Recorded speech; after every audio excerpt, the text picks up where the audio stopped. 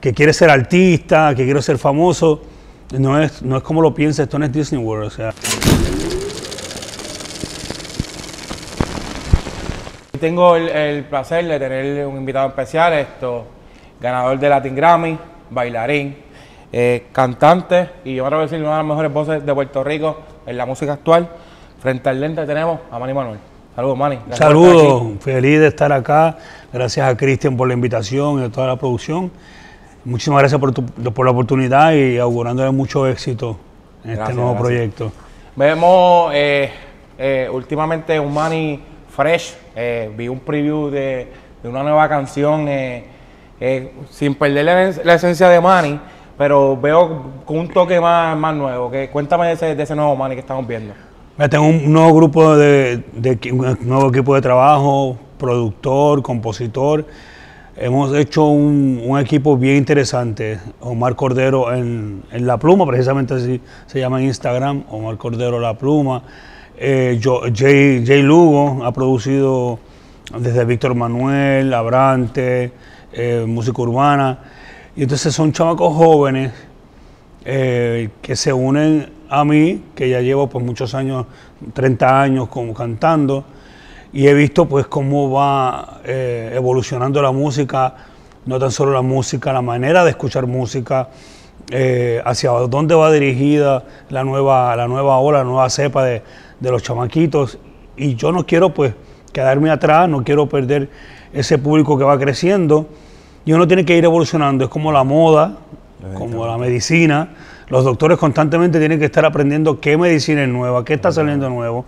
De igual manera, el de la moda tiene que estar eh, pendiente qué es lo que está nuevo, pues para continuar vigente. Y eso exactamente pasa en la música y siempre lo veo de esa manera. Y no pierdes, y no, y no, y no pierdes tu esencia. Ahí está Manny. Es como un poldo, un Manny, un, un de Manny. Sí, porque hay que mantener, lógicamente, quién es uno. No puedes cambiar quién tú eres, porque no puedes impostar ser otra persona, porque eso se nota. La cámara lo nota, la gente lo nota. eh, al momento de, de- de- de escuchar tu voz, saben que estás haciendo algo diferente. Si puedes tener nuevos ritmos detrás de tus, a tus espaldas, tener un nuevo ritmo, un- unos sonidos nuevos, refrescantes, que vayan a la par de lo que está pasando hoy día, pero sin perder, pues lógicamente, lo que es mi sello como Manny Manuel, porque ese es el que me ha llevado siempre. Entonces esa combinación es explosiva, es espectacular y estamos lográndolo. Este nuevo tema que sale ya el 29 de abril en todas las plataformas digitales, es un tema que, que es parte de una, de una producción completa, es un disco completo de ocho temas que se están preparando y está quedando magistral. O sea, Jay Lugo en, en la producción eh, como, como arreglista musical, como la cabeza de, de lo que son las ideas junto con Omar Cordero. Y lógicamente, pues yo estoy en la mesa redonda, es, un conjunto de ideas donde nacen muchísimas cosas maravillosas. Yo aprendo muchísimo de ellos, de lo que es su juventud, de, de lo, que, lo que es el nuevo género, lo que es el género urbano, la salsa, porque sí, ellos han trabajado mucho con, con lo que es la salsa, lo que es el género urbano, aunque yo he cantado de todo a través de mi carrera, pero lo que estoy aprendiendo es cómo suena hoy, lo que yo hace 20 años hacía, cómo suena hoy. Y eso es lo que estamos aprendiendo y es fabulosa la... Yo soy, yo soy de los que creo que a veces pasa mucho en la música, que a veces se encajonan, como que se ponen un sello, un sello de yo soy tropical, yo soy esto. Cuando realmente yo pienso que algo más mental, yo pienso que tú tienes la habilidad de hacer un montón de cosas. ¿Por qué limitarnos a, a cantar tropical solamente? O a cantar cuando Manny hace una balada, se siente que está Manny, y cuando Manny está en el merengue, está la esencia de Manny, ¿sabes? Y no, no tiene por qué chocar y no está mal uno hacer cosas nuevas, para encontrarse, para, para, para atraer público nuevo, porque obviamente pues e- ese, es ese long time, la, la carrera de un artista no es, no es pegar un- una canción, es como Manny que viene de los 21, ¿sabes? A veces mucha gente se sorprende con, la- con las carreras de estos artistas urbanos que vienen pegando desde joven.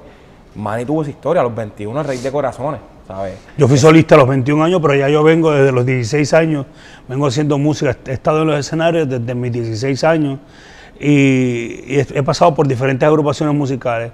También he viajado diferentes ritmos musicales, desde el bolero, la salsa, la balada pop, la música pop, he hecho bachata, he, he intentado hacer urbano. Ahora es que estoy como que conociendo y me estoy dando más la oportunidad y el género me está dando más, más apertura a, ser parte de ellos. Tener, tener un featuring con Ñejo en este, en este, en esta, en este disco, en el, efecto, es en efecto una, un gran adelanto, porque pues, lógicamente es uno de los papás de, del género que conoce, que es muy, muy real. No, no, si le gusta, le gusta, si no le gusta, no le gusta. Y eso pues, para mí es un plus en mi carrera. Eh, y es muy, muy respetado en, en su, en su género, en esa, en, esa, en esa subcultura, como yo digo. Sí, y es, uno que lleva mucho tiempo vigente también. Claro, entonces pues para mí es que estoy, eh, estoy entrando con, buena aceptación a ese mundo, eh, lógicamente con mucho respeto, yo agoterito poquito a poco, porque tampoco quiero imponer algo porque pues no cae bien.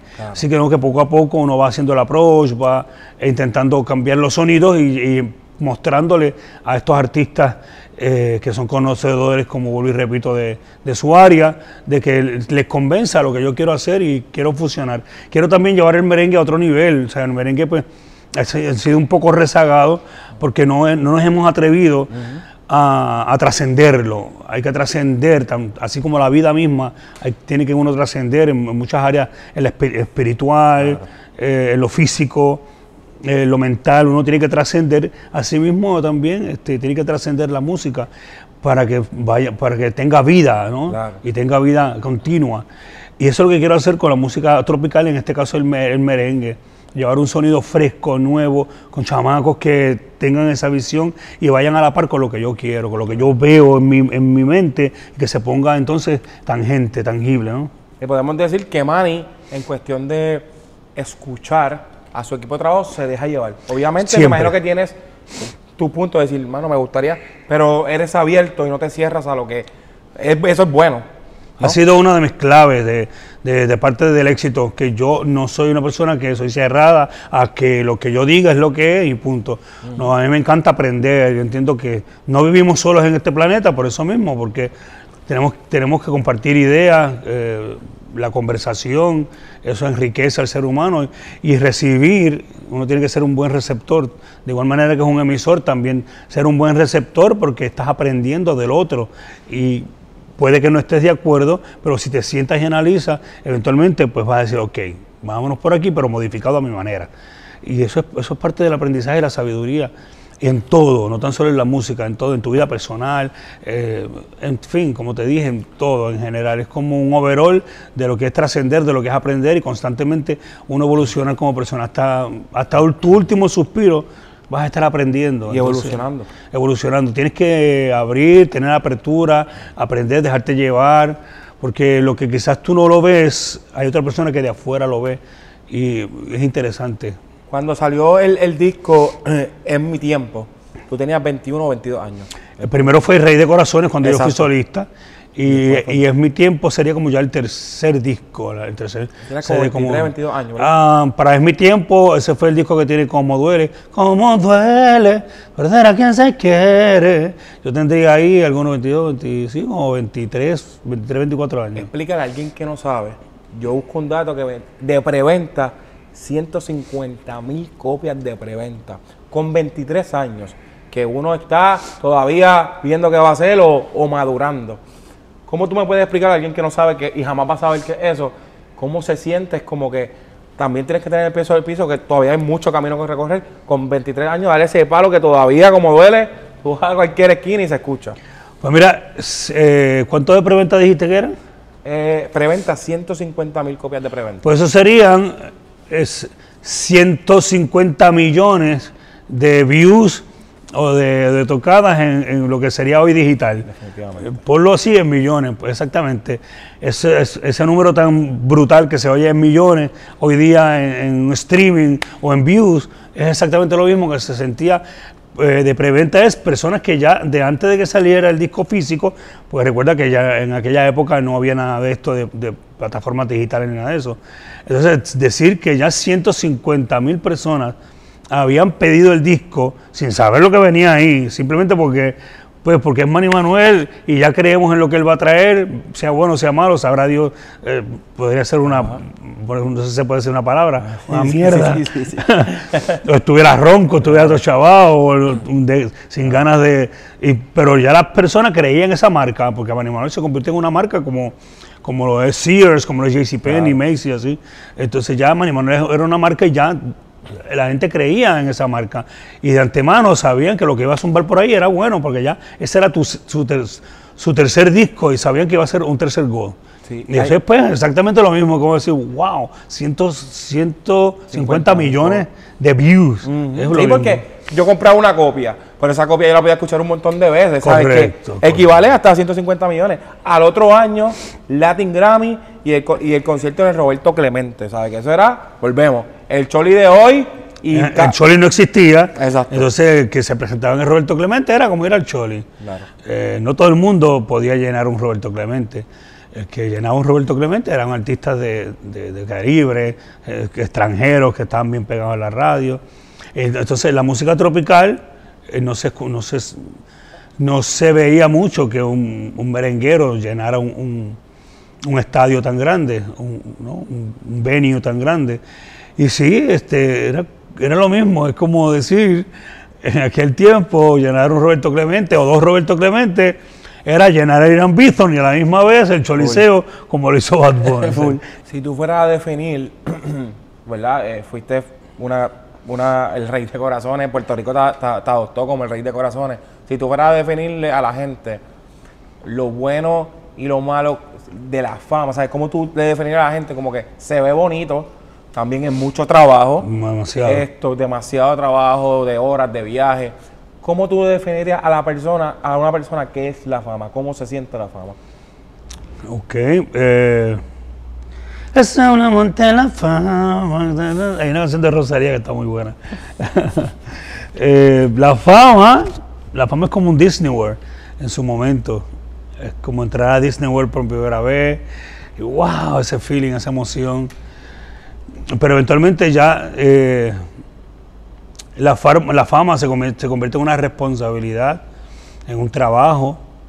Ya no deja de ser tan bonita y tan fun cuando pierdes tu privacidad, ya tú no eres eh, cualquiera que puede ir a, al CRIM a pagar el CRIM y ponerse en la fila como cualquier otro. O sea, eso cambia, muchas cosas cambian. Como te digo, a principio es el Disney World de la vida pero ya tú sabes, cuando tú entras a Disney, todo es chilling, pero ya cuando ya va llegando la noche, que ya has caminado todo Disney, empiezan los dolores, el cansancio, ya como que Disney no te parece igual que como, como entraste, ya tú lo que quieres es irte para el hotel a dormir, todo cansado, y más si llevas cuatro muchachos chiquitos contigo, pues es más o menos igual.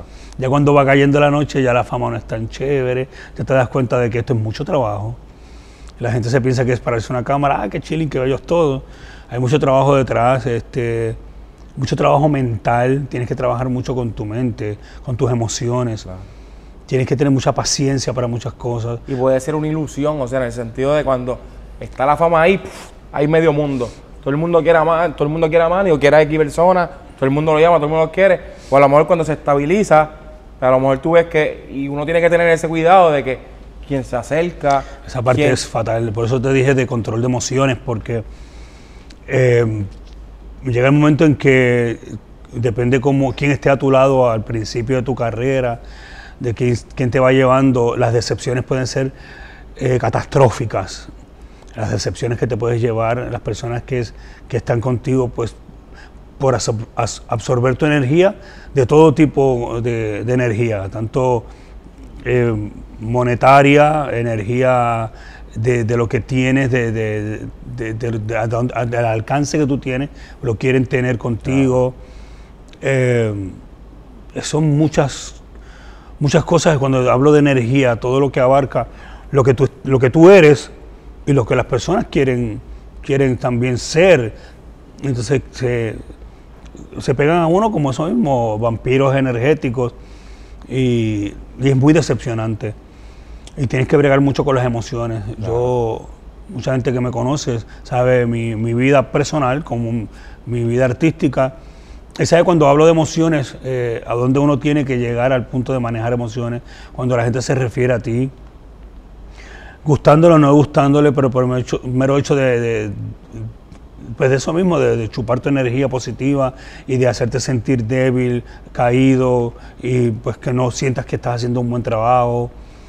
Es Lo que, lo que sientes en la calle, que en mi caso, gracias a Dios que soy bendecido y la mayor parte de la gente lo que me da son bendiciones Pero y ¿tú cosas hermosas. Yo creo que yo creo que tú has levantado la mano. Hay personas que cometen errores y se van corriendo y qué sé yo. Tú has levantado la mano y yo pienso que la, la gente lo ha sentido genuino de que, ok, no es, no es la veces que me he caído, me he levantado. Y, y, y has levantado la mano como que, y es lo que somos todo el mundo, porque es bien fácil yo estar detrás del, del televisor diciendo, ah, mira Manny, o mira esto, o mira a otra persona, normal, la farándula que sea. Pero es- eso, la única diferencia, que tú eres más conocido que, que a lo mejor que mi vecino. Claro. Pero mi vecino caído un montón de veces. Es la única diferencia. Y yo siento que hay personas que caen y le echan la culpa a otro. Le echan, Manny ha dicho, ok, tuve mal. Y yo pienso que es por eso Puerto Rico ha dicho, ok, se merece, sabe, merece una oportunidad y pienso que Puer- sabe, Puerto Rico te quiere. ¿sabes? No, Gloria a Dios. No, no han, ¿sabes? No, Puerto Rico y o sea, afuera también, como que no, no, no se han dejado llevar por eso. Hay personas que ni a una la aguantan. Sí, Pero tiene es. que ver mucho, pienso yo, con, con, la, con la retórica detrás, como que el justificarse cuando la gente ven que no están siendo real. Claro. Yo tengo que decir que en realidad soy bendecido, he sido bendecido como persona y como artista. Tengo un país pues que, yo tampoco abuso de eso y siempre lo digo, no es que yo estoy abusando del cariño que la gente me tiene. Sé mis responsabilidades, sé eh, dónde tengo que bajar la cabeza y decir si lo hice mal, sé dónde tengo que levantarme la cabeza y decir lo hice bien, lo estoy haciendo bien y me doy mi mérito y me, y me apremio. Eh, pero volviendo a la, a la palabra fama, cuando realmente conoces lo que es ser famoso, lo que es ser figura pública, lo que es dejar tu privacidad para tú subirte a un escenario y ser de esa gente, y que las personas se sienten con el derecho de que como eres artista tienes que aguantarte todo lo que te vengan, todo lo que te digan, porque eres artista, aguántate esa. Es, es bien complicado, es un poquito complicado, entonces tienes que trabajar mucho con tus emociones. Por eso yo aprovecho para darle un consejito al que está viendo esto y piense que, que quiere ser artista, que quiere ser famoso.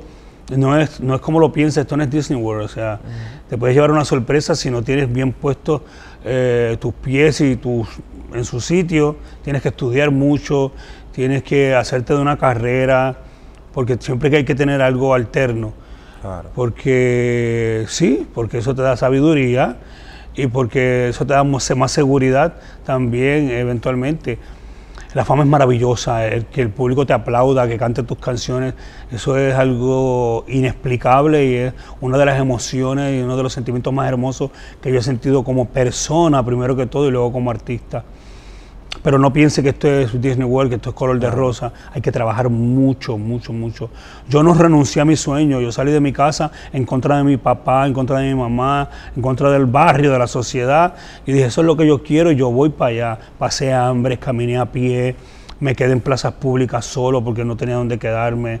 Eh, con- literalmente como un, como un pordiosero de la calle, un, un- un deambulante. Tuve, que, tuve, tuve momentos así porque perseguía un deseo y no me quitaba. Y eso era lo que yo quería, por encima de lo que fuera.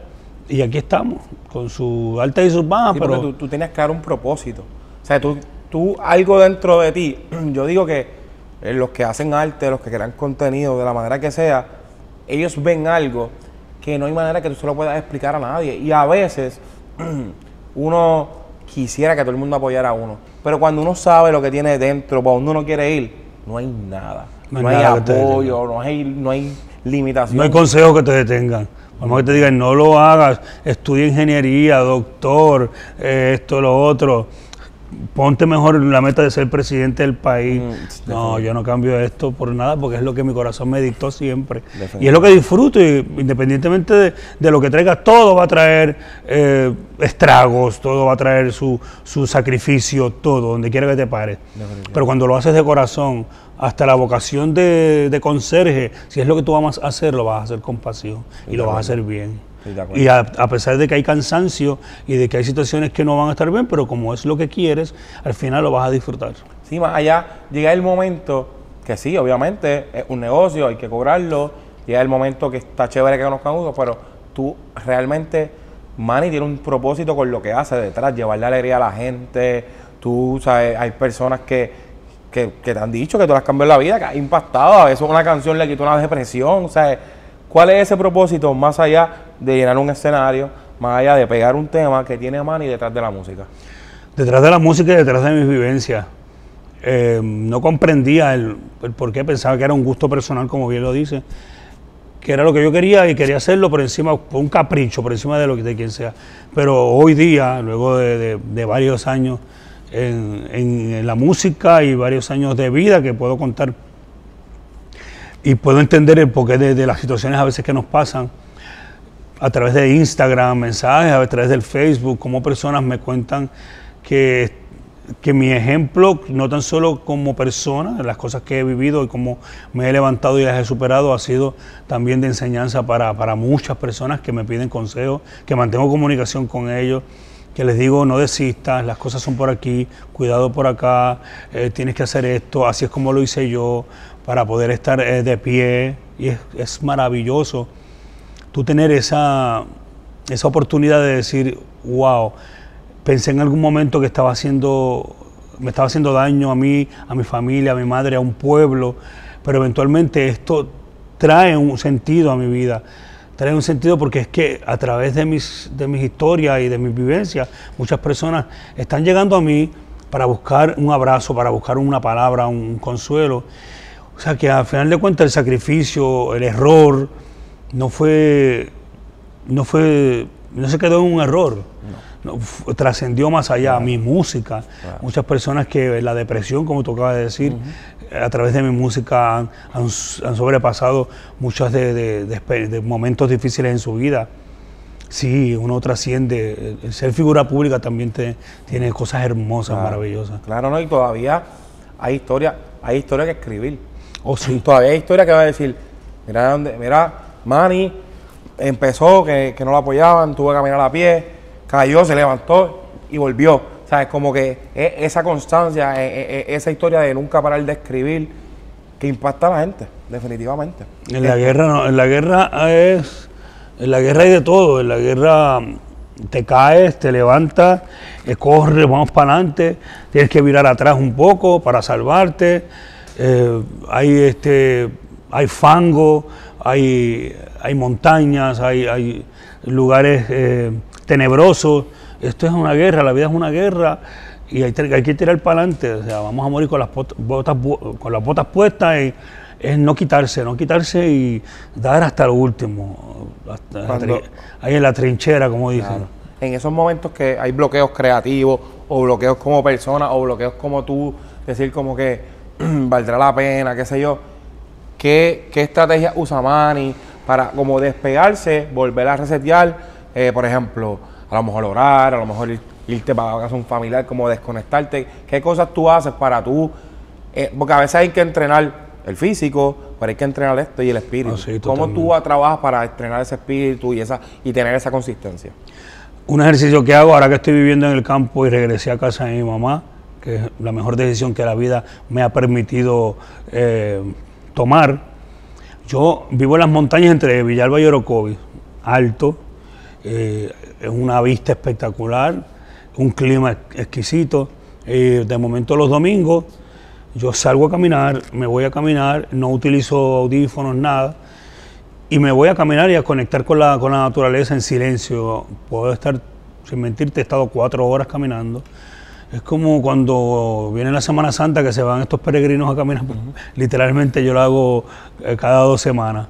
Y es una conexión con la naturaleza y, de- y desconexión de lo tóxico, de, de todo eso que, que uno recoge durante el mes eh, y del trabajo, de, de todo, en fin, en general, de la crítica, de, de lo bueno, de lo malo. de- es simplemente estar eh, conmigo Conectarte contigo mismo. conmigo y obviamente con lo supremo. Es, es la mejor terapia. Para mí el ejercicio es todo. O sea, yo a través del ejercicio libero demasiadas eh, toxinas en, eh, en el overall, ¿no?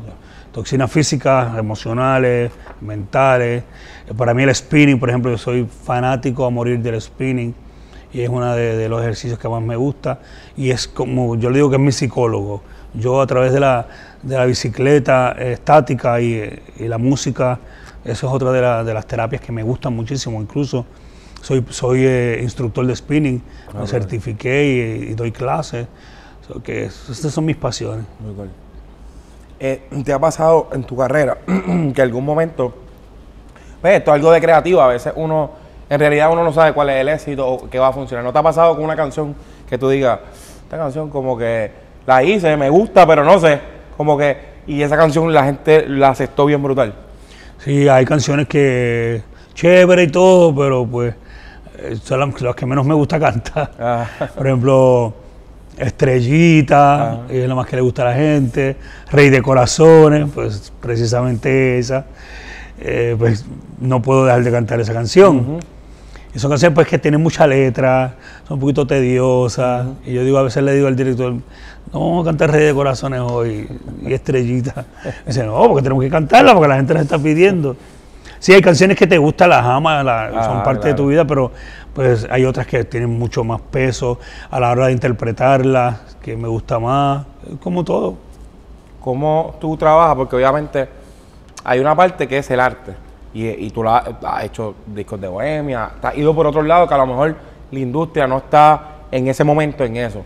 O sea, también te da ya el punto instinto, como que quiero hacer esto, quiero, por ejemplo, quiero hacer una canción de bohemia, aunque esto no esté pasando en la industria. Porque, me quiero hacer este arte. Hay público para todo y a veces, mientras en la, radio o lo que está sucediendo en la música es una cosa, yo digo, están dando satisfacción a este, a este cierto grupo de, personas, a este eh, range de edades, y se están olvidando de estas personas que que también quieren sentir que los están tratando, que los están eh, taking care. ¿no? ¿Y por qué no hacer un disco de bolero para estas personas que no tienen emisoras donde escuchar la música del ayer?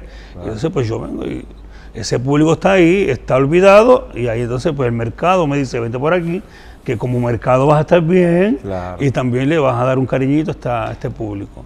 y, regresamos a nosotros. Y ya Manny tiene un fanbase, ya está, en lo que va, lo que va a traer, pero ya Manny tiene un fanbase que lo que tú le, ya son fanáticos tuyos, lo que tú le sirvas lo van a coger. ¿sabes? Ellos saben lo que tú das a nivel vocal, ellos saben lo que tú vas a dar, y hay, personas que ya tú no tienes ni que convencerlas. Esas personas ya están convencidas. Sí, ya yo he estado probado en varios géneros y hay un pueblo que me espera ahí. Incluso pues cuando voy a anunciar el efecto, por ejemplo, que sale el 29 de abril, anunciando el efecto y en los comentarios, ¿cuándo te vas a hacer un disquito de bolero? Tan lindo el disco de serenata, eh, o sea que siempre está el público buscando y siempre están ahí, o sea, es, el público para todo tipo está ahí. Es simplemente darle cariñito en el momento preciso. Y cuando ves que no está pasando nada, te tiras solo y todo eso es para ti. Si tú, fue, si tú estuvieras hablando de Manny como si no fueras tú, ¿cuál tú crees, o sea, Manny otra persona, cuál tú crees que es la debilidad más grande de Manny y cuál es la fortaleza que tú dices, esto me distingue en la industria musical como persona, como tú quieras, esto eh, dentro, dentro de... Porque a veces es complicado hablar de uno mismo dentro de la fortaleza o la debilidad, pero ¿cuál tú crees que es tu debilidad y tu fortaleza? Mi debilidad es que pienso que todo el mundo es como yo, que tiene el mismo corazón que yo, que no tiene malicia, eso mismo, soy un buenazo. Y pienso que todo el mundo es buenazo, entonces ahí pues peco un poco de buena gente, por no decir pendejo. Pero sí, esa es una de mis grandes debilidades y ha sido mi debilidad por toda mi vida. Y mi fortaleza, mi fortaleza es mi interés, mi, mi voluntad, mis ganas de vivir. Eso no me lo quita nadie. Pienso que hasta el último suspiro yo seguiré luchando por, por amar y hacer lo que hago, amarlo con loca pasión y eh, esa es mi fortaleza y mi estilo, que yo creo que eso, no va a salir como en 100 años me vio nunca, ya, es un sello que lo tengo ahí, que me lo regaló el universo, el cual estoy agradecido y ese estilo me lo llevo conmigo a la tumba y está difícil de que se imite. Quiero cerrar, que le dejo un consejo a las personas. A veces yo pienso que quien más nos castigamos somos nosotros mismos. Totalmente. o sea, a veces cuando, ok, no podemos pasarnos tanto la mano como cuando caemos, como que, ah, sí soy humano, pero tampoco podemos darnos con un látigo. las personas que están pasando por un proceso ahora mismo dice- creyendo que porque fallaron no valen nada. ¿Qué les diría Manny? Pues mira, yo he, sen- he- he pasado por ese sentimiento, lo he sentido en carne propia. Y no, eso es. eh, esa es tu misma mente. La, mente puede ser tan amiga tuya como tan enemiga también. La mente es muy poderosa. Entonces, solamente eres tú quien tienes que tener el control sobre ella. Eso es también victimato. No te victimices tanto. Eh, tú sabes que dentro de las palabras o el pensamiento que, que puedas sentir de que ya no sirvo, etcétera, etcétera, est- estás en un- tú sabes en tu interior que te estás victimizando y cogiendo de tu mismo pena. Por el contrario, deja de cogerte pena y sal a volar, sal a caminar, despéjate y sabes que y también, en tu interior sabes que si eres capaz de hacerlo. Entonces, pues dale más peso a las capacidades que tienes y a, a todas esas fortalezas que tienes al papel de víctima. Porque con el papel de víctima, de víctima no vas a llegar a ningún lado, no vas a convencer a nadie porque nadie te va a creer el cuento. Pero tus fortalezas y tus virtudes que sabes que están ahí, esas sí tú las crees, tú las puedes poner en práctica y sabes que el mundo te las va a aceptar y, y las va a creer. Amén. Gracias, Manny. Eh, Nos llevamos mucho de esta entrevista, ¿verdad? Que eh, sé que vamos a ver un Manny nuevo, lo vemos en la música, lo estamos viendo en las redes. Y, Gracias. y mano, y te, te deseamos el éxito. Y gracias por decir que sí a la entrevista. Siempre, gracias a ustedes por el espacio. Gracias.